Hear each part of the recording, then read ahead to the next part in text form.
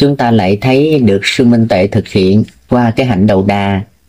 Vì à, câu hỏi cũng nêu lên là tại sao không thấy sư minh tuệ à, ngủ ở những cái nơi mà à, nhà được lót gạch bóng láng hay hoặc là có những nơi che cánh kính mưa nắng mà sư lại à, ngồi ngủ trong những cái gốc cây hay hoặc là nghĩa địa hay hoặc là nhà quan? Có phải là sư lại có cái hạnh lành là độ thêm người âm hay không thì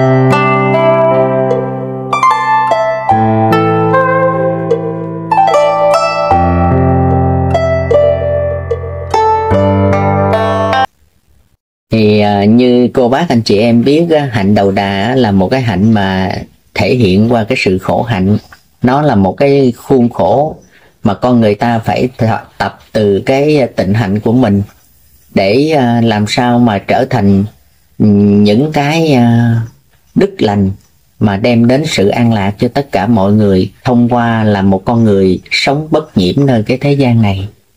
Thường ở thì trong thế gian ấy khi mà chúng ta có mặt hiện hữu sanh ra và lớn lên đó thì quý vị biết là cơm áo gạo tiền hay ăn ăn mặc ở nó vẫn là một cái vấn đề quan trọng để phục vụ cho cái thân, vật lý. Cho nên đó là trở về với con đường giác ngộ của Phật á, thì khi nhận thấy được tất cả các pháp á, quý vị à đều, đều do duyên sanh mà kể cả thân người chúng ta có được trong thế gian này cũng đều do tứ đại giả hợp nó hiệp thành. Đó. Nhưng mà đến ngày tàn hạ rồi á, thì xương thịt rã ra quần lại đất máu huyết chảy ra quần lại nước hơi thở quần lại với gió và sự ấm áp sẽ trở lại với ánh nắng của mặt trời. À, cho nên á, là chỉ còn có cái nghiệp thức mà lúc mà chúng ta sống đây nè à, chúng ta tạo ra những cái điều mà nếu mà nó là cái điều sai biệt do tham sân si nó giấy khởi đó. Thì con người ta phải bị một cái lỗi là do nhân quả chi phối. Nó phải đi theo ba đường ác đạo. Còn nếu mà chúng ta tạo ra cái nghiệp lành đó, thì nhân quả nó cũng chi phối. Con người ta sẽ được tiến hóa lên ba cảnh trên. Đó là trở về atula, thiên nhân. Đó là ba con đường đi lên cho nên nó từ đó đó thì chúng ta mới thấy được hạnh đầu đà tức là người ta sống theo cái hạnh đức của phật đó thì lìa xa tất cả những cái nghiệp tiền trần mộng ảo này. Đó, để người ta không có đắm trần nhiễm trượt nữa cho nên cái nhân quả không còn có sự chi phối người ta nữa. Đó mà hoàn toàn á, thì người ta được sống trong cái thể là bất nhiễm về nhân quả. Nó bất nguội về nhân quả à, cho nên đó là bồ tát thì sợ nhân chúng sanh thì sợ quả. Cho nên mỗi khi mà bồ tát làm gì đi thì trước hết là bồ tát lấy cái trí giác ngộ của mình để quán xét tất cả mọi việc đó. Cái hậu quả của nó như thế nào? Cho nên cái câu mà phạm làm việc gì trước phải nghĩ đến hậu quả của nó vẫn là cái bài học ngàn vàng. Đó là cái chuẩn mực đạo đức để cho chúng ta thực hành được những cái công án khi chúng ta còn là thân này phải phục vụ cho cái giả thân đó cho nên nó có những người người ta lại phản biện đó sư minh tệ lại tu ông cái gì cũng không không hết trơn á. Rồi tôi hỏi vậy chứ nếu mà ai cũng tu như sư minh tệ thì trong cái cuộc sống này con người phải làm sao? À, thì người ta cứ nghĩ lấy là cái thân này là thiệt thân của mình cho nên mãi lo o bế sửa sang rồi mài cạo gọt cưng nó dưỡng nó tích trữ cơm tiền cho nó ăn dành để thuốc thang cho nó uống kiếm tìm thanh sắc cho nó vui cho nên mấy đệ thấy rằng trong cái lúc mà chúng ta hiện hữu trên thế gian thì đã có bao nhiêu cái cuộc tương sát tương tàn bao nhiêu cái sự tranh đấu cũng tại vì giành giật cơm áo gạo tiền với nhau. Đó thì chính đó là cái nghiệp đó. Cái nghiệp là do chúng ta tự tạo tác lên. Cái ý mình nghĩ rồi cái thân mình làm và cái miệng mình nói thì cái đó gọi là nghiệp. Cho nên đó là người học Phật đó khi mà nương về với chân lý của đạo Phật đó, người ta mới thoát khỏi 12 duyên sanh đó là vô minh sanh hành hành sanh thức thức sanh danh sắc danh sắc sanh lục nhập lục nhập sanh xúc động. Xúc động sanh thọ cảm thọ cảm sanh ái ái sanh bảo thủ bảo thủ sanh hữu hữu sanh sanh sanh sanh lão tử. Cho nên đó là vô minh, nó vẫn là cái che đậy cái chân tâm diệu minh của mình. Đó sai sử mình làm nhiều điều sai với cái chân lý. Đó, mình tham danh, tham lợi, tham sắc, tham tài, tham quyền, tham thế thì chính những cái tham này gây ra những cái cuộc chiến đấu rất là ác liệt. Mà chiến đấu nó mất đi cái lòng nhân đạo của mỗi con người. Người này giết người kia người kia hại người nọ thì chính cái giết và cái hại đó vẫn là cái dây xích vẫn là quan khiên báo đền. À, vẫn là nghiệp lực truyền miên hết kiếp này tới kiếp nọ. Cho nên là sống theo hạnh phật thì người ta sẽ thấy được à thì ra có cái là con người ta chỉ ham muốn thôi mà nó gây nên những cái trận phong ba bão tố đó như vậy. Thì đức phật á, là người từ xuất thân từ trong á, cung vàng. Ha, điện ngọc vợ đẹp con ngoan lầu cao cửa rộng phú hữu tứ hải. Nhưng ngài thấy đó là không phải hạnh phúc của cuộc đời này đó, sau khi ngài đi bốn cửa thành ngài thấy con người phải sống trong cái cảnh sanh già bệnh chết. Cho nên nó về đền đài cảm xúc buồn riêng hằng để trí tầm phương giải thoát. Cho nên bây giờ đó thì lìa cha già, vợ đẹp, con cưng, thân chẳng xá song pha bờ bụi. Ngài thở ấy nên 19 tuổi, tâm đại hùng cương quyết tu trì, trải bao phen lau khổ xiết chi sao ngài đến rạch ni liên thiền. Thấy cỏ qua cảnh bắc tham thiền ngồi khổ hạnh 6 năm bên ấy. Thì ngài ngồi quán xét lại tất cả mọi việc. À thì ra do cái sự ham muốn mà con người nhận lấy thật, thiệt thân này nè. Đó, cho nên đó mình mới chạy theo cái vọng niệm thế gian, chạy theo cái vật dục đó để phục vụ cho nó nhưng mà con người nếu mà cái sự ham muốn quá độ thì nó lại làm mất đi cái lẽ nhân đạo của mỗi con người. À, cho nên do đó mà ngài tìm ra được cái chân lý đó là làm chủ được sanh già bệnh chết. Và cái mà ngài tu đó ngài thấy được cái chân ngã của mình là phải làm sao không có đắm nhiễm trong cái thế trần này về danh lợi sắc tài quy quyền phú. Còn mình thì bây giờ mình thấy sắc tài ngũ dục lục trần tài sắc danh thực thị, nó là cái điều rất cần cho mình. Thì chính cái điều rất cần đó cho nên con người mới là luân hồi sanh tử tử sanh. Mãi sai xưa theo cuộc vui chơi nên kiếp kiếp đời đời lên rồi xuống. Cho nên sư minh tệ khi mà ngài thấy được như vậy rồi, đó ngài mới thực hiện hạnh đầu đà đó để cho ngài hoàn mãn được cái công hạnh mình là tìm cầu con đường vô thượng chánh đẳng, chánh giác cũng như đức phật. Tại vì ngài thấy rằng ngài lớn lên rồi, ngài cũng có danh vị nè đó ngài cũng được uh, có chức quyền nè rồi ngài cũng có tiền tài danh vọng. Nhưng mà cuối cùng á, những cái thứ ấy chỉ làm cho ngài cũng thấy được nỗi khổ nó cứ truyền miên ngồi trên đống tiền bây giờ vẫn vẫn khổ. Cho nên cái quan niệm làm sao là đạo phật phải thoát qua cái sự khổ vui của thế gian. Phải không? Thế gian mà người ta có tiền có bạc có địa vị người ta thấy cái vui nhưng mà cái vui đó có phải là vượt qua được cái khổ không? Hay là cái vui đó chính là cái sự gây ra cái khổ hại sau này nữa? Đó thí dụ như bây giờ chúng ta vui theo thế trần phải không? À, giàu đổi bạn sang đổi vợ. Có tiền thì chúng ta đổi bạn. Có tiền có danh vị chúng ta đổi lại vợ. Thì nó làm mất đi lương thường đạo lý rồi đó con người ta. Tham tham tiền tài thường dướng nạn eo mà tham sắc đẹp thì nhà tan cửa nát. Mà đấm nhiễm vô tư tủ sắc tài khí tứ đổ tường thì con người ta đó là bị tan nát tâm can của mình là bởi do gì? Chúng ta tạo ra bao nhiêu cái nghiệp thương đau. Đó, cho nên đó là những cái bậc mà giác ngộ, người ta thấy điều đó rồi đó người ta xuống, người ta bước đến cái cửa không, ta sống trong cái thể thanh tịnh của chư Phật, thì chính cái thể thanh tịnh này nó sẽ vĩnh viễn trường tồn, nó không mất. Mà con người cái thân này có rồi sẽ mất. Mất là chúng ta sẽ trả về bốn chất tứ đại, rồi thì cuối cùng đó, cái nghiệp lực là cái mà mình tạo từ trong cái tư tưởng của mình á. Cái ý niệm của mình á mình muốn cái này mình ham cái nọ. Ha mình mong cầu cái kia thì chính cái lúc mà bỏ cái xác thân này nè hoại theo cái thành trụ gì việc á thì sẽ đi theo cái thần thức đó đó cái sự ham muốn đó. Cho nên có người mà tham quá thì sao kiếp sau người ta phải làm chó giữ nhà? À, mà nếu mà chém giết hận thù với nhau quá thì con người ta sẽ bị thương đau khốn khổ. Ha cho nên qua đó đó thì sư minh tệ lại thực hiện hạnh đầu đà là sống á là vượt qua cái sự tham ái sự hỷ ái và cái sự mà chúng ta phải là do luyến ái mà sanh khổ. À, cho nên đó là ngài thường nói cái câu mà ái luyến sanh sầu đau ái luyến sanh khổ hải. Ai giải thoát ái luyến không sầu ưu khổ hải đó. Thì đó chính là cái phẩm 16 trong kinh pháp cú mà Đức Phật đã dạy cho tất cả mọi người hôm nay Đức Thầy cũng dạy chúng ta nữa.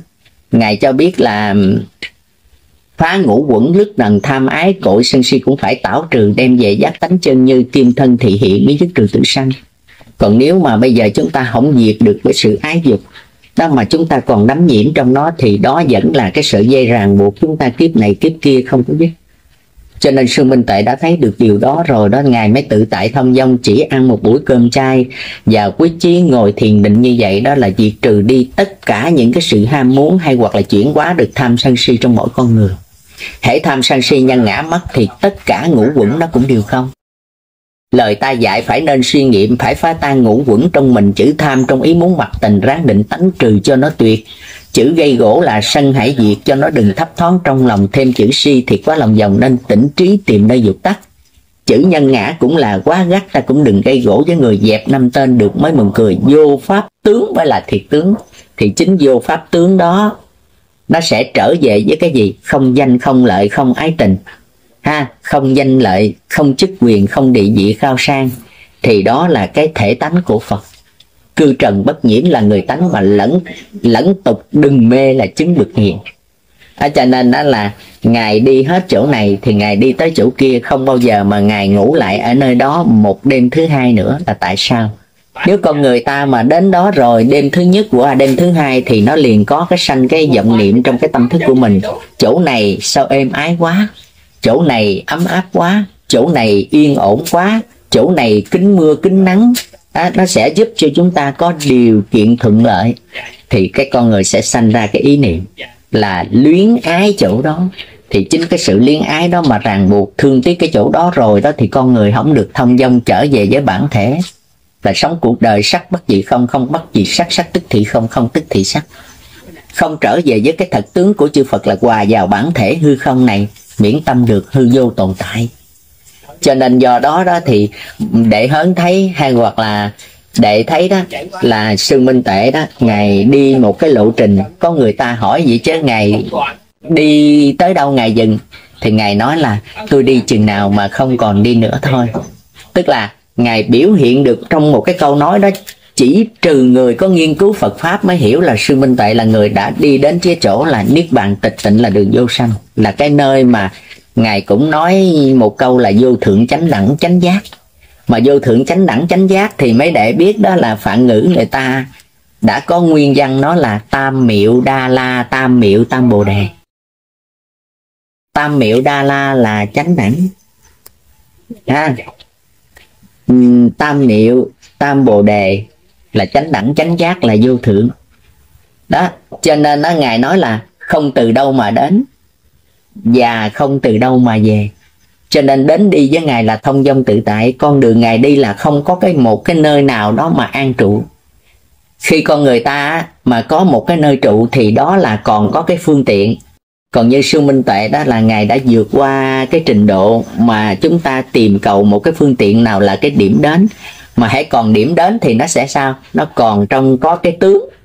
Chúng sanh tướng, thọ giả tướng, nhân tướng, ngã tướng còn bây giờ ngài đi đó thì ngài ngài đi không không không có đến nơi nào.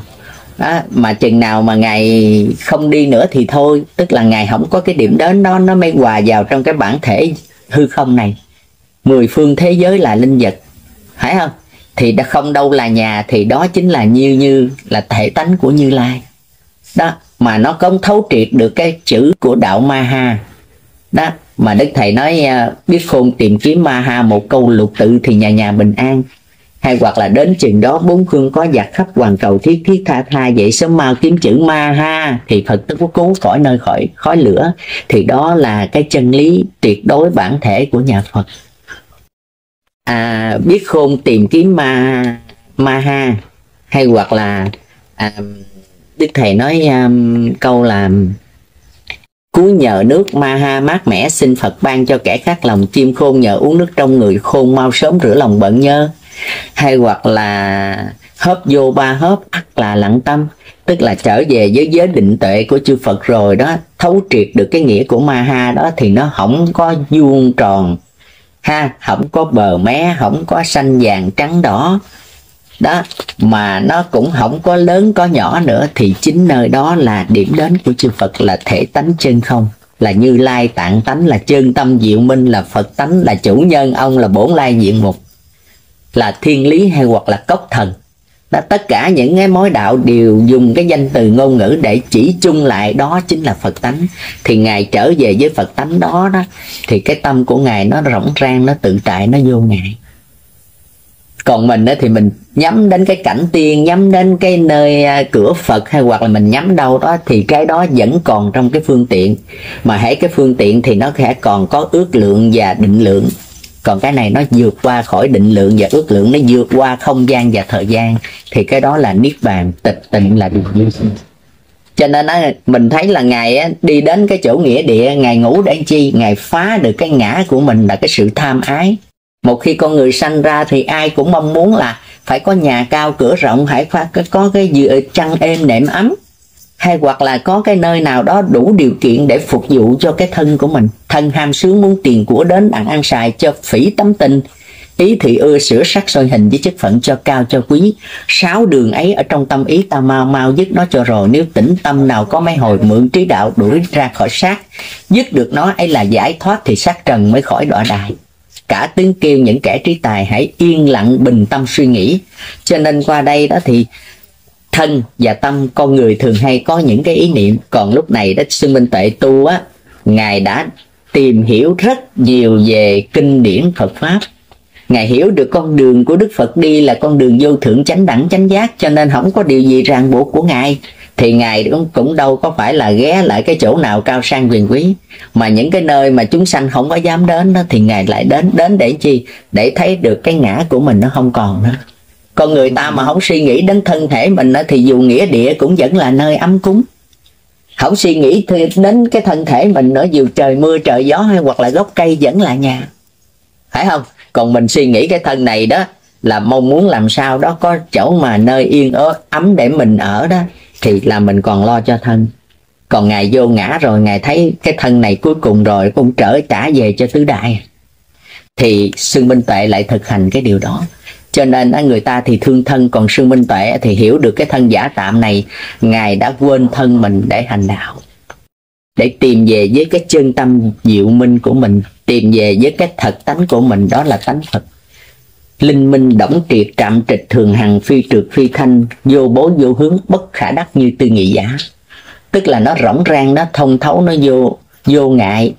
Ha, hòa vào trong cái bát nhã này rồi đó thì các ngài mới thấy tất cả đều là không. Phải không? Mấy đệ đọc lại cái bài tâm kinh bát nhã mình mới thấy điều đó. Quán tự tại bồ tát hành thâm bát nhã ba la mật đa thời chiếu kiến ngũ quẩn giai không độ nhất thiết khổ ách xá lợi tử, sắc bất dị không không bất dị sắc sắc tức thị không không tức thị sắc. Thọ tưởng hành thức diệt phục như thị. Xá lợi tử, thị chư pháp không tướng, bất sanh, bất diệt, bất cấu, bất tịnh, bất tăng, bất giảm. Thị cố không trung, vô sắc thọ tưởng hành thức, vô nhãn nhĩ tỷ thiệt thân giấy, vô sắc thinh hương vị xuất pháp, vô nhãn giới giới nải trí vô ý thức giới vô vô minh diệt, vô vô minh tận, vô lão tử diệt, vô lão tử tận, vô khổ tập diệt đạo, vô trí diệt, vô đắc. Dĩ vô sở đắc cố bồ đề tát đỏ y bát nhã ba la mật đa cố tâm, vô quái ngại, vô quái ngại cố, vô hữu khủng bố, diễn ly điên đảo tất cánh niết bàn. Thấy không? Tất cả trở về thật tướng của nó nó không có dính díu gì với sắc thinh hương vị xuất pháp, mà cũng không có dướng díu gì với ngũ quẩn phải không? Thì tất cả đều trở về với cái tánh không của nó. Đó, trên dương thế thì hữu hình tắc hoại. Cái gì nó cũng có thời gian năm tháng. Nhưng cái thể tánh của chư Phật nó không có thời gian năm tháng tức là nó giống hư không này thì nó trường tại đời đời. Cho nên sư à, Minh Tuệ có giải một câu như thế này để hứng tất cả đều vô thường nhưng mà có cái là không có vô thường. Tôi nghe tới câu này đó là tôi cũng chưng hửng được bao nhiêu năm mình nghiên cứu bao nhiêu năm mình học hỏi từ cô bác, anh chị em từ bậc thiền gia thạc đức đều biết vô thường nó diễn biến trên thế gian này. Phải không? Nhưng mà khi ngài nói không có vô thường thì tôi thắc mắc cái gì mà không có vô thường? Mọi việc trên thế gian này, những cái sự diễn biến từ sắc na đi qua là đều có vô thường, nó thay đổi cảnh giảng. trời sáng ra kế lại thấy trưa năm cũ đó rồi qua năm mới. 12 tháng mà còn mau tới thì tuần đời cũng chống đổi thai tại sao không vô thường? Cái thân của mình á, mới thấy ra thì sớm lại bạc đầu tại sao không vô thường? Phải không? Cái tâm của mình mới suy nghĩ đó. Rồi bây giờ đó mình lại đổi ý thì tại sao không vô thường? Nhưng mà có cái ngài nói không vô thường đó là gì? Là thể tánh của chư Phật là hư không này. Có cái gì làm hoại được nó đâu mà nó phải vô thường. Đó, mình thua sư minh tuệ là cái nhìn nhìn của ngài nó sâu sắc như thế đó. Nó đi đến cái chỗ mà nó phá hết tất cả những cái tướng ở thế gian để thấy được cái thực tướng đó cho nên ngài ngủ ở hết nghĩa địa này, tới cái nhà quan nọ. Đó, rồi ngủ ở nơi này không quá hai đêm. Đó thì là tại sao là cái mà ngài diệt được cái vô ngã đó, để có được cái chân ngã đó truyền tại đời đời.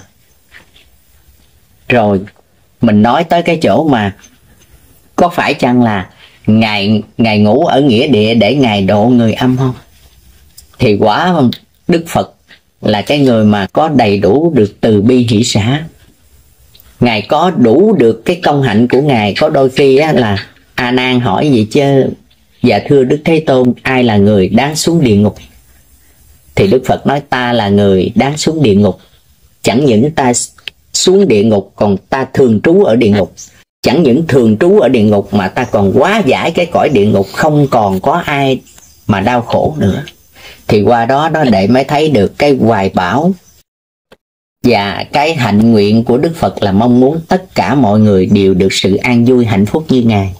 Không một chúng sanh nào còn đau khổ nữa, thì đó chính là cái ước mơ của Đức Phật.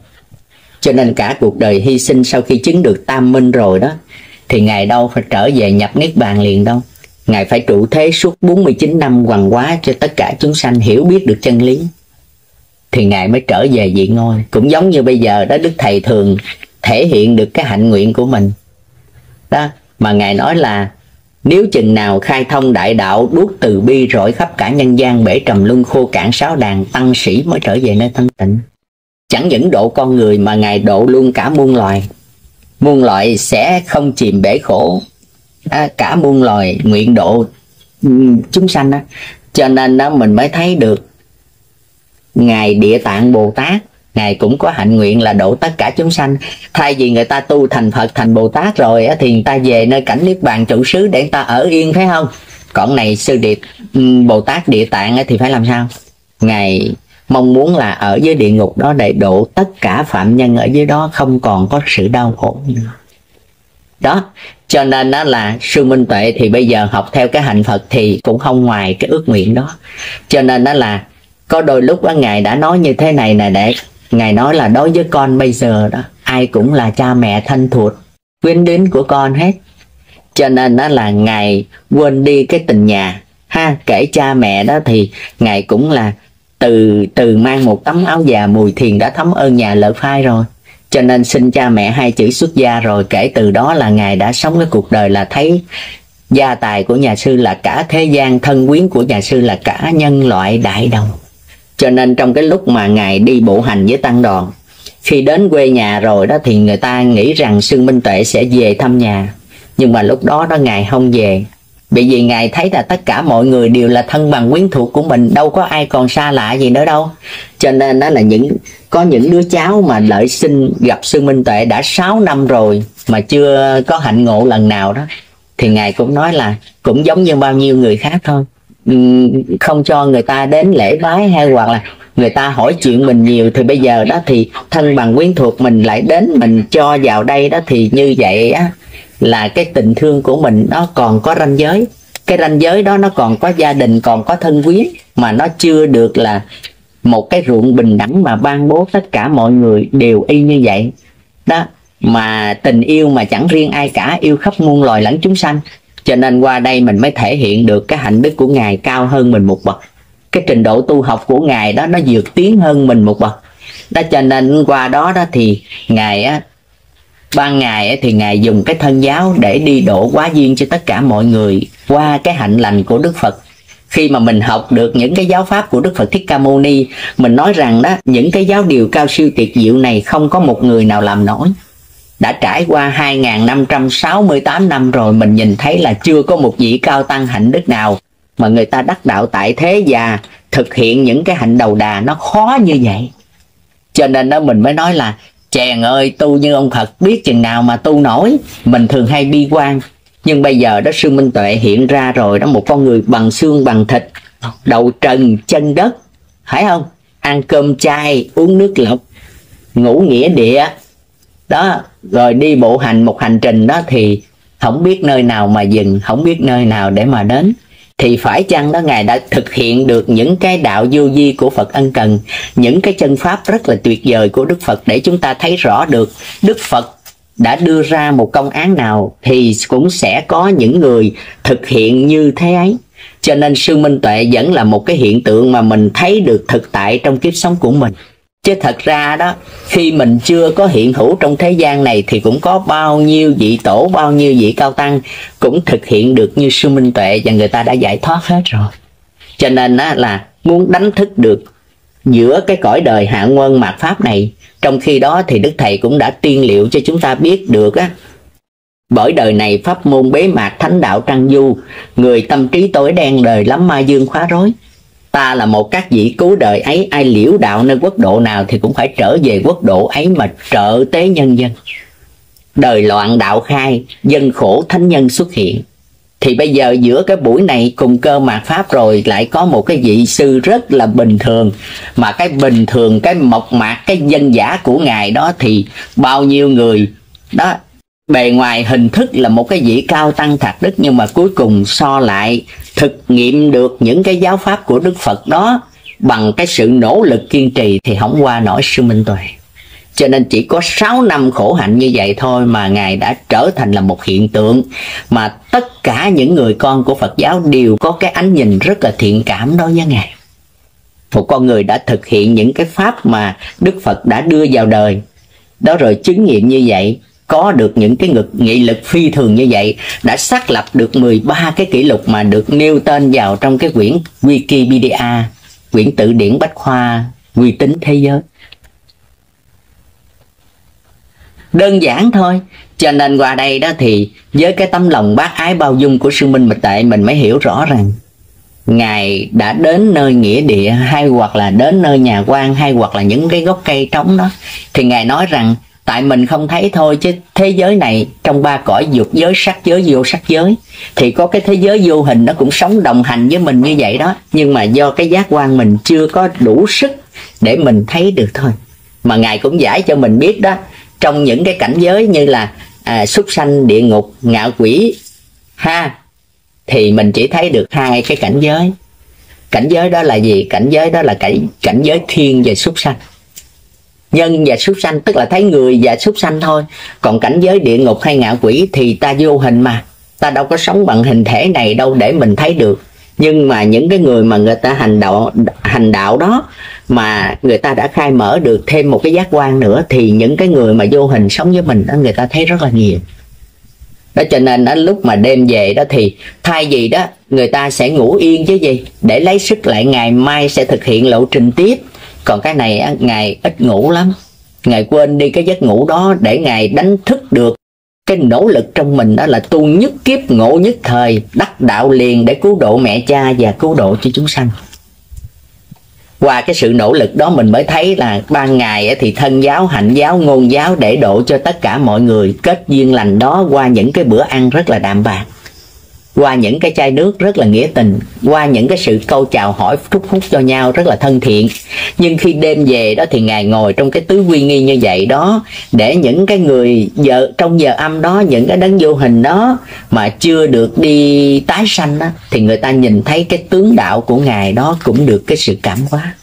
Cho nên qua lời của khổng thánh, ngài nói, đức sung ư nội dị nhân quá ư ngoại, tự nhiên cảm hóa bất đại giáo ngôn giả giả thay vì mình nói người ta nói với người với nhau thì nghe, phải không?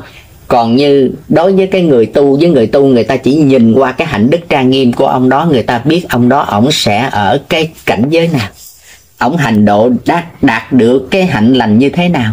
Cho nên đã tự nhiên ngài không nói một cái lời nào hết mà đã có cái sức cảm hóa đối với tất cả mọi người. Thì y như vậy đó. Nhìn sư minh tệ thôi là mình biết được. À tại sao mà mình kính trọng ngài như vậy?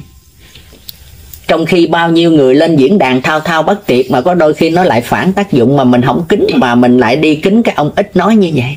Dạ. đó cái sức hút và cái cái từ trường của ngài nó lan tỏa cho nên đó ngài ngồi như vậy đó một á, anh trả lời với đề đó là thực hiện được cái hạnh lành 12 hạnh đầu 13 hạnh đầu đà tức là không nghỉ quá hai đêm một chỗ và thường ngủ gốc cây nhà trống hay hoặc là nghĩa địa cái tác dụng của nó là tập được cái cái hạnh thiểu dục tri túc, tức là bớt đi cái sự ham muốn của mình.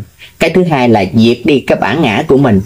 Con người ta thường hay có cái tự ngã, là tánh tự cường tự trọng của mỗi con người. Tức là ai hơn mình thì không được. Cho nên đó là con người dễ bị thất bại trong cái công cuộc tu tập là vậy đó. Bị vô minh nó sai sử rồi thì con người cứ phải là phục vụ cho cái giả thân này thôi, tạo ra bao nhiêu cái nghiệp. Còn như đức phật đã thấy được cái thân này không phải là thiệt thân của mình, mà do cái duyên nó hợp bốn chất lại, nó tạo thành. Cuối cùng rồi nó cũng sẽ trở về cho tứ đại mà thôi.